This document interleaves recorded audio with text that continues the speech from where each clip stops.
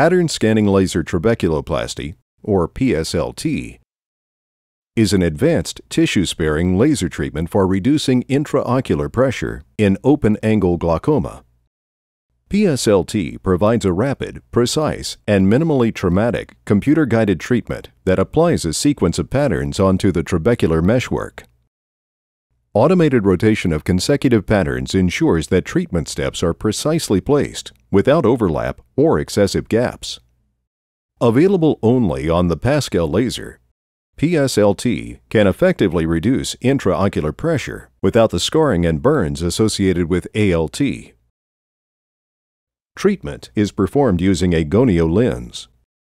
Before the PSLT procedure, the physician titrates laser power to achieve light blanching of the trabecular meshwork with 10 millisecond laser pulses applied to the inferior segment of the eye, where pigmentation is often the highest.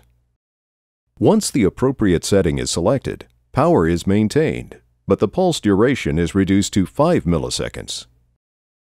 Physicians can choose to treat either half or all of the trabecular meshwork Treatment is administered in 16 steps for 180 degrees, or 32 steps for 360 degrees.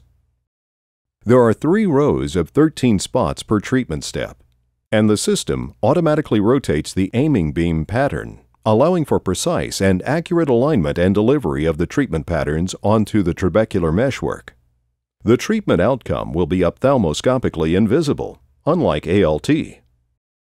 The PSLT procedure delivers laser energy just below the threshold of creating coagulative damage or scarring, but within the therapeutic range of the trabecular meshwork response.